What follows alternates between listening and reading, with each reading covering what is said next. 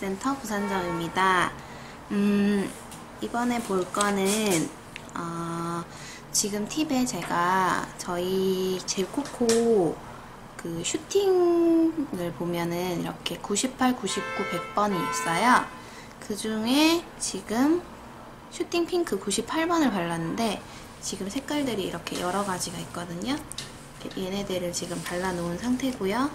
여기 위에 이제 96번 이너의 눈물을 발라줍니다. 96번 요 지금 보면 반만 발라서 약간 위로 그라데이션을 붓으로 살짝살짝 이렇게만 발랐어요. 그렇게 해주고 나서 이너의 눈물을 너무 요철이 심하지 않을 정도로만 좀 발라주세요.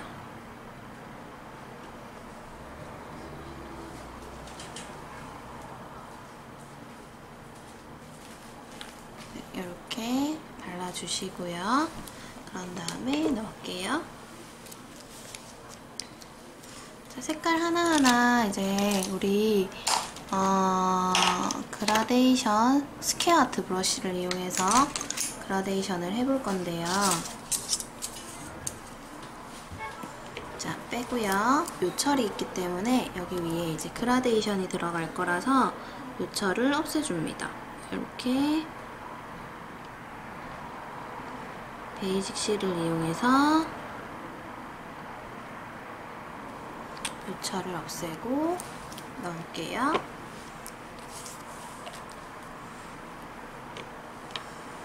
자, 색깔을 두 가지씩 섞어서 해도 돼요. 뭐 shooting 민트랑 shooting 핑크 뭐 이렇게 섞어서 해주셔도 되세요.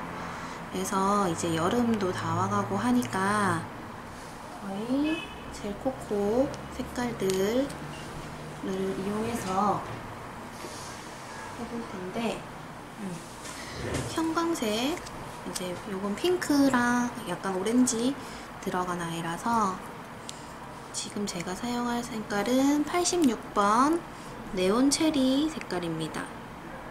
네온 체리를 이용해서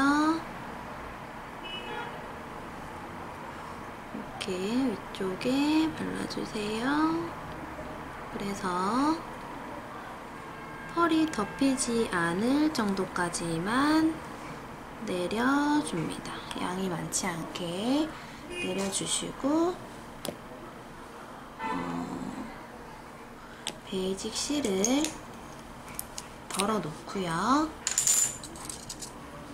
square 아트 브러쉬를 이용하여서 자, 이 tension을 이용해서 square 아트 브러쉬에다가 basic seal을 묻혀줍니다. 그래서 basic seal을 아래쪽에다가 묻혀놓고 이 칼라를 끌고 내려와 주세요. 위에 양이 많다면 양을 조금 끌고 내려와서 조금 닦아주고 너무 양이 많지 않게 투명한 느낌이 중간부터 생겨서 은은하게 그라데이션이 될 수 있도록 이렇게 톡톡톡톡 쳐서 그라데이션을 해줍니다. 치기도 하고 약간 내리기도 하고 하면서 이렇게 그라데이션을 시켜주세요. 그런 다음에 큐어 해주시고요.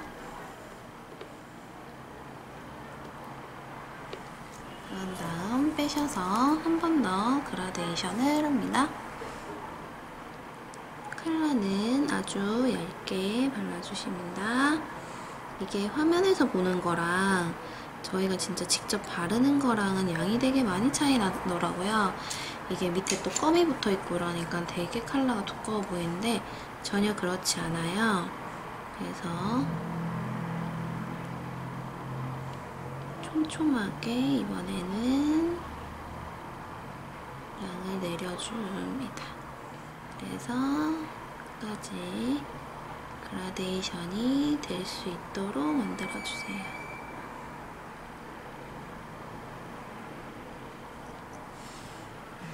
이렇게 그 다음에 교환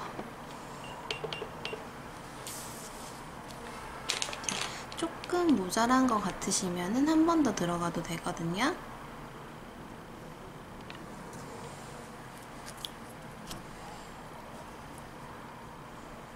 한 번 더. 바르셔서. 자 이번에는 조금 더 묽게 한번 쓸어줄게요. square 아트 브러쉬에 basic seal을 묻혀서.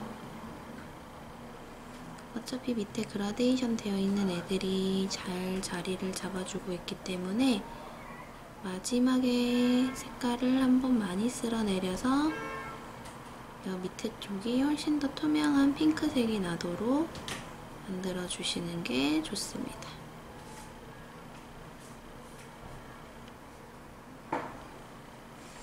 그래서 붓을 닦아주고 베이직 실에 번짐성을 이용해서 한 번 더 톡톡 쳐서 내려줍니다. 자, 이렇게 그라데이션이 될 수 있게 해주시고 cure! 그런 다음에 우리 non-wipe top젤 이용해서 top을 발라줍니다. square 아트 브러쉬는 통젤에는 사용이 어려우세요. 병젤의 이런 묽은 용도를 그라데이션 하기 위해서 나온 아이라서 어, 가지고 계신 병젤의 그라데이션을 쉽게 할 수 있도록 도와드릴 수 있는 브러쉬예요. 이렇게 그라데이션이 가능합니다. 네, 쉽죠? 자, 이렇게 한번 완성해 보시면 좋을 것 같아요. 손톱에다가 이렇게 했을 때 되게 귀엽더라고요.